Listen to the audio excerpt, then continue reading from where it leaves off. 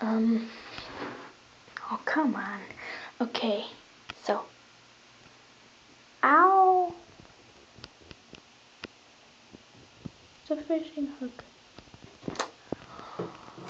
So, if your bathroom sink, sorry. Mm, actually, it should go this way. If your bathroom sink kind of looks like dish, dish, dish. And that is very messy and very junky because my brother makes it like that all the time. Here's a simple way to clean it up. Um, any like chemicals, like this and this, bigger bottles, can go where you usually put your bigger bottles. So be in here for me, but you put it where it usually goes. Um, you got little wet towels like this, and just throw it in the bathtub.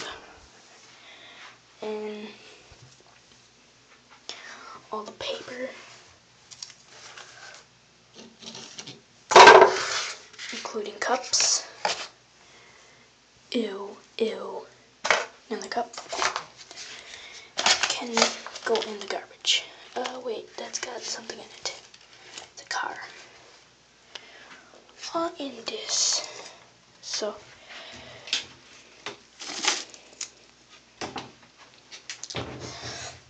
then I've got two towels.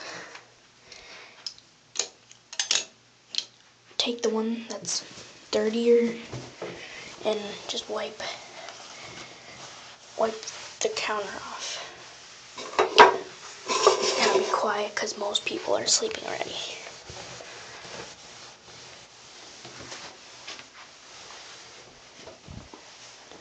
So, Whoa. And then you can probably wipe in the sink too to make it a little nicer. And you want to fold the towel up how you usually do. Usually looks like for me.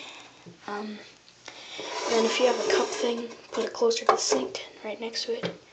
Then your soap bottle on the other side. And if you have little candles like this, put one there then again another one over here. I got a little leaf one sitting there. Then you want to take your some more wet stuff here. Take your towel, place it right next to the sink. Then I'm gonna comb down here.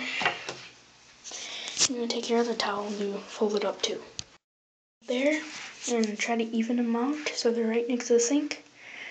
And got the flower pot kind of clean that up a little. Now the last thing is I got this little thing, you can put a little junk in there. If you have a big thing like this, if you have a small toothbrush, you can put that in the junk pile. You got a little nightlight, just plug it in. Oh dear. Uh, whoa, like so. And if you have, if your mom keeps your curling irons out like mine does, you can just put that back. That's gonna make it a lot messier. Um, so the last thing is if you get a brush and a comb out like this, stuff the brush as far up into the corner as you can. Then take the comb and then just stick it in the brush. So the sink looks a lot better.